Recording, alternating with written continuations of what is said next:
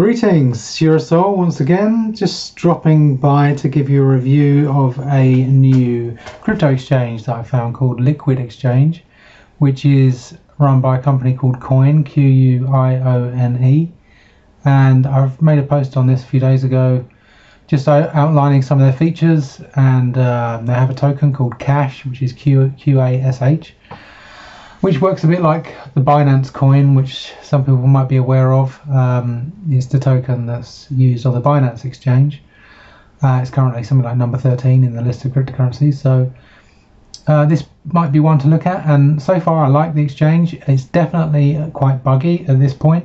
Um, I've had a few problems with it, and I'll let you know what those were as we go through. So right now we're looking at the Bitcoin to USD trading page and I had a bit of a play with it already. One of the first problems I found was that, um, well, a it doesn't support Steem, which is an issue for me. But uh, I took my Steem tokens, converted them into uh, another token on Bittrex, and then transferred them through to Liquid Exchange, and they didn't show up in my wallet. And this happened to me before when I started using Binance as well. Uh, it took about 24 hours, if I recall correctly, for my tokens to arrive the first time, and I thought it was, you know, something had gone wrong. But um, I'm fairly sure with Binance, it's some kind of security thing, even though they don't tell you that, and it just it's just delayed when it first arrives. But in this case, I spoke to the support agent for Liquid, and it turned out that for some reason their website had given me the wrong address to send money to um, I screenshotted the address and sent it to him, and he said, "Oh, that's the wrong address." So um, it wasn't my mistake; it was literally a bug in their system. So it took 48 hours for my tokens to actually arrive in my wallet after I sent it to them, sent them to them. Uh, but at least they did arrive, and I do know from experience that the support on cryptocurrency exchanges tends to be very slow. Um, with Bittrex, one time I made a mistake and sent money to the wrong wallet. It actually took them, I think, five months to give me my tokens back. Um, from my perspective, if it can be done, then there's no reason for it to take five months. But uh, you know, they're, they're, often very slow at responding to to email once it gets past the first layer of support. Um, in this case, I spoke to uh, the Liquid agent via a chat that's built into their website.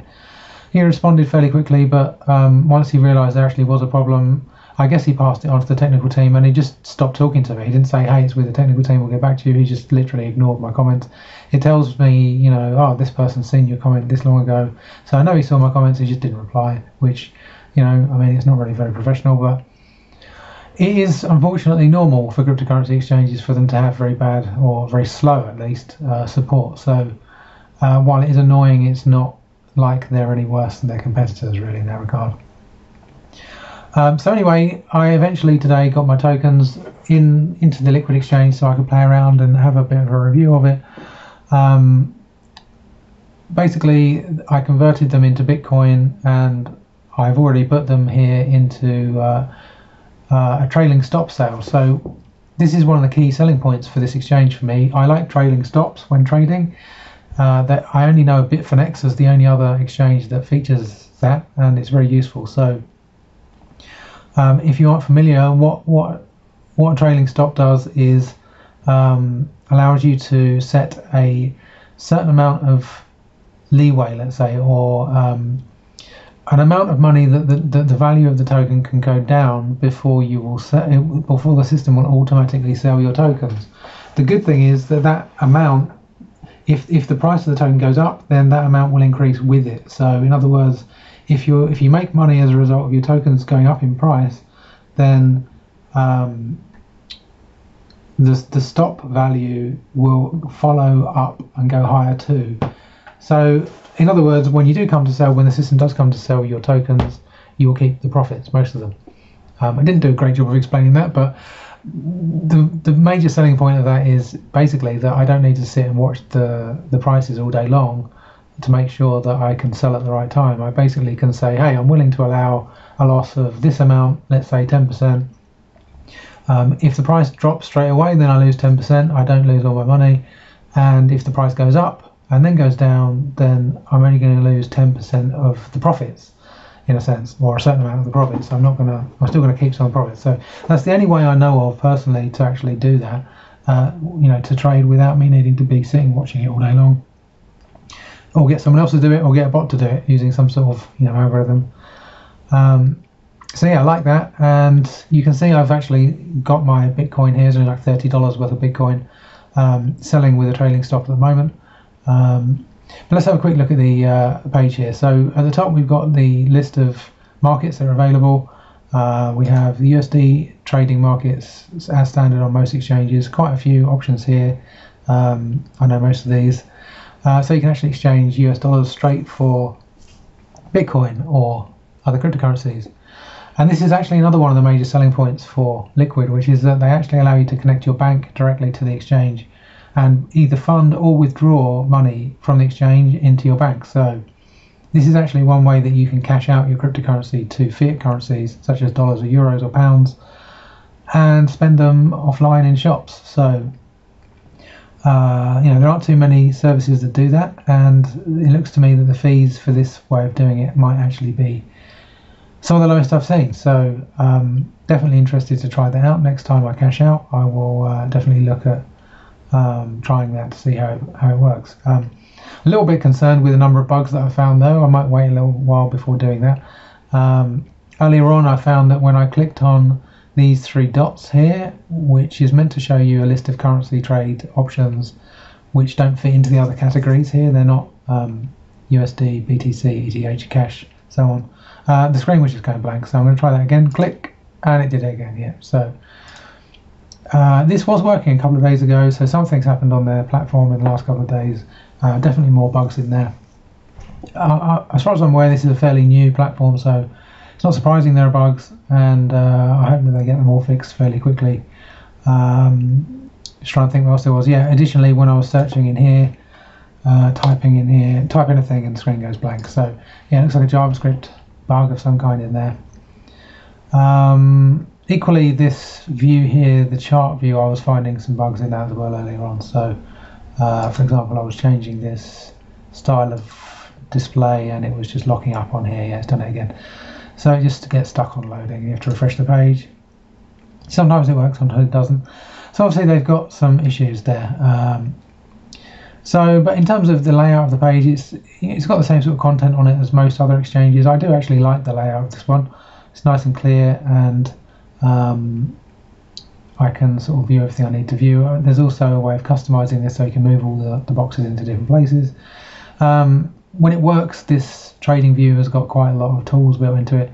Um, you've got all the different um, indicators here, different sort of styles of lines and so on. Um, and obviously your normal sort of time period and full screen view and snapshots and so on. Um, so yeah, fairly standard stuff. Once the bugs are fixed, should be good. Um, if we come back to the home page, uh, this is the logged in home page, shows you uh, a bit nice graph here of the um, the biggest mover of the moment, and then some of the other ones down here. And then as we scroll down, you can get the kind of view you're used to seeing on CoinMarketCap and other websites, showing you the uh, latest moves for various different markets. Fairly standard stuff. Hopefully this others view is going to work here so we can have a quick look. So here we've got like Australian dollars, Singapore dollars, and just sort of different combinations that for one reason or another didn't fit into that, um, into these other lists. I guess maybe they could call this fiat or something like that and organise it maybe a little bit better, but anyway. Um, so then we also have Cash, QASH, which is their own token. Uh, and if you use QASH to pay their fees for the trades, then you get a 50% discount, which is pretty cool. It's going to inspire people to hold on to those tokens. Apparently, um, uh, the Binance token did very well as a result of that kind of approach. So maybe it's one to look into. Uh, we can see here some of these, wow, some really amazing growth. I'm not quite sure what that's about. Um, 9,900%. Hmm. uh, presumably it's a new token or something odd going on there. Yeah. Um, so yeah, it's just a generally sort of an information page there uh, on the markets. Uh, exchange we've looked at. Now margin, we've got margin trading go into this as well. Um, Bitfinex, I think from memory, has this as well. It's quite an advanced trading option. I don't do it. It's basically one where you can multiply the amount of money you have to trade with by uh, up to 25 times actually on the liquid um, exchange. So you can make huge profits and huge losses as a result of that. So definitely tread with caution there. I'm not uh, promoting the idea of margin trading. I'm not an expert in it, and yeah, I wouldn't want anybody to be uh, taking big risks and losing lots of money as a result of using that. But if you want to use it, it's in there. So we come back to the home page. Now another interesting feature here, we've got lending. So you can actually put your own cryptocurrency into this lending pool and set an APR value, and people can come in and, and basically agree to borrow money from you and pay back interest.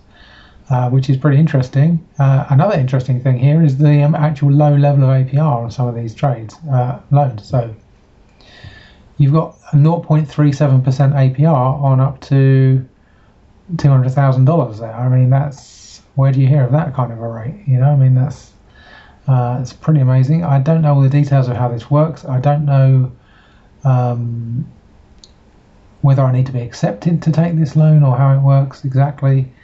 Um, I don't seem to be able to click on any of these actually on these offers. So, how does it work? As a liquidity provider, you can put up a portion of your balance towards loans that are given to margin traders. Ah, to margin traders, right? Okay. Click on the on switch next to liquidity provider below and enter the amount you wish to put up for loans. Okay, so that's interesting. Uh, let's read that last bit. Funds are returned to you when the trades to which they are tied, they should be are closed, not is closed, you can monitor loans in the section below and interest earned under my loan offers. Okay, so it's not loans for you and me, it's loans for market traders, margin traders. So uh, clever, clever idea. Um, yeah, uh, so that works for people that want to get percentages on their crypto without being involved in so much risk, and it works for the traders who want to go in for more risk. Uh, hopefully, they've got good contracts in place to get the money from people when they lose their money and can't pay it back.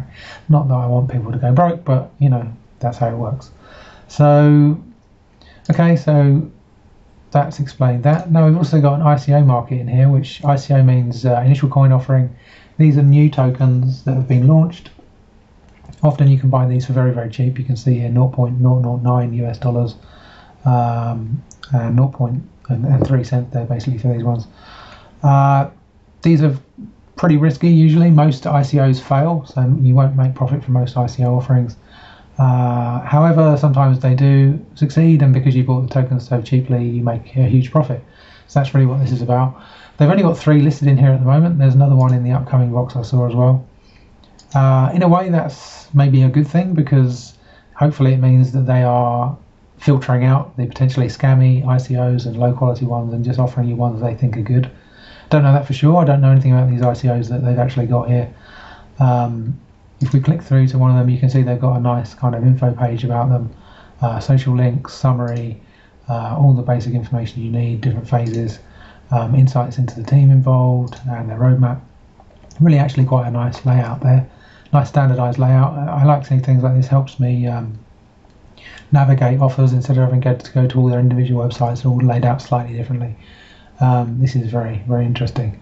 Um, if they have a few more ICOs in here, that will definitely be, um, this would definitely be, for my liking, one of the better exchanges in terms of ICOs once they fill them out with some more.